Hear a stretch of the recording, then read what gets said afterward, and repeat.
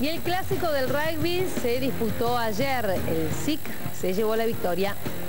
Hablamos de este partido tan importante entre el SIC y el CASI, el San Isidro Club, con el Club Atlético San Isidro.